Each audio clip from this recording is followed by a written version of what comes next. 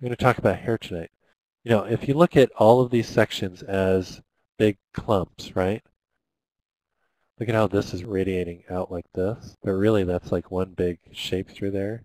Another one, another one through here. So the shapes are varied all through here, and they're all going different directions. So this is what I want you guys to think about when you do hair. It doesn't have to be this complicated, but it can have that kind of variation to it. Okay, this is beautiful. Look at how that ear sits underneath the hair. Look at the simplicity of that sculpture. You know, it's beautiful. All right, look at how the hair just kind of layers over top of itself on this. Look at how simple kind of these strokes are.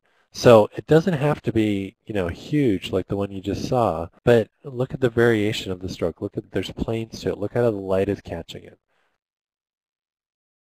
Look at the transition through here from the skin into the beard. Just beautiful textural quality through there. Little twist right there. Look at the ends of the hair. Okay, the part at the top of the hair. This is nice. I like this. Look at the part. You know, look at how her forehead goes back into the part through there. Nice little twist in here. Okay, so you guys get it? Look at reference. So there's a few things I just want to go over. For now, I want you to keep it clumpy where you've got basic clumps coming off it. So that's what I want to kind of show and demo tonight. I'm going to just smooth this guy out a little bit. Okay, so if you do have subdivisions, and again, you may have to look at reference for this, you know, depending on your character, but if you're just doing sculptural kind of hair, really get the overall helmet of the hair shape worked out first, and almost start off really big with this stuff, okay? It's easy to get nitpicky and want to like start to really refine certain areas, but you see I went down to a lower level, I kind of give him a little receding hairline. And again, I've got them mirrored. What I could do is I could come in here, I could mask out, you know, if I figured out what my hairline was, right?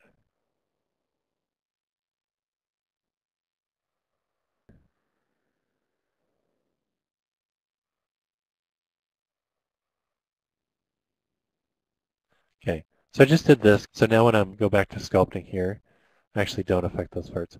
And it actually comes up a little higher. So I want to get in my big, big shapes first. Looking a little funky there.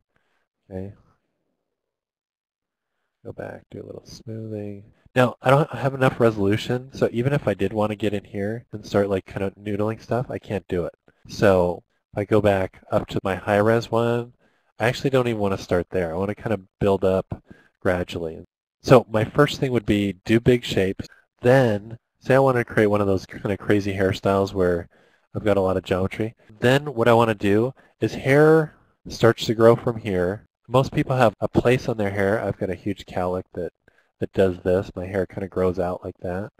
Then let's say this is my part in my hair. I can actually mask that out so that now when I start sculpting out this way, it's a big part in the hair. So I could decrease that just a little bit. So look at where the center is, look where the part is, right?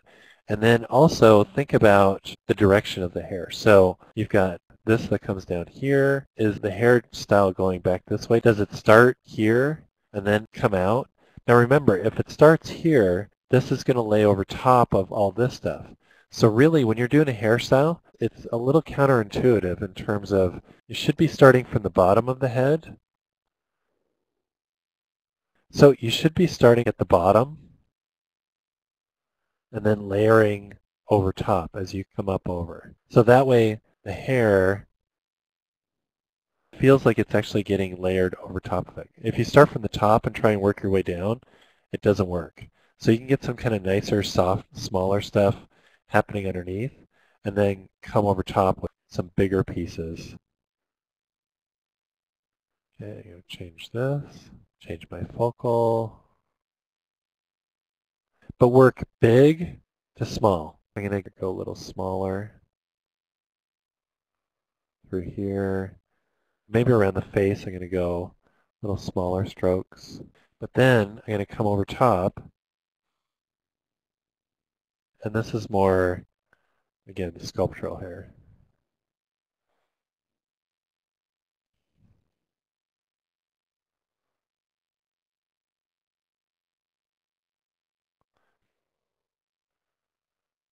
And I haven't smoothed anything yet. I'm going to go back to that point.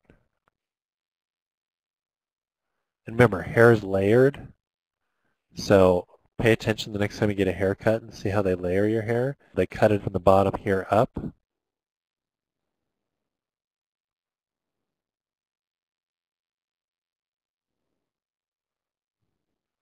So I'm going to take away a little bit of the mask here.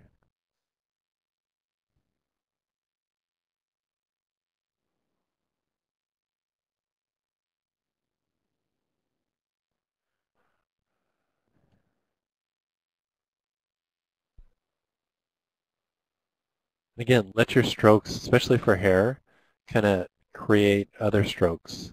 You know, as you kind of mash these together. But think of it as, as hair clumps. And come back here. And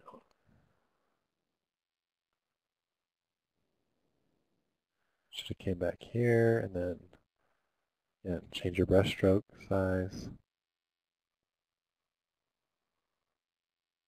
And then if you want to change the shape later on, go back down to your lower level. Go down here, pull it out, and then go back up and refine. So, it's my little hair demo.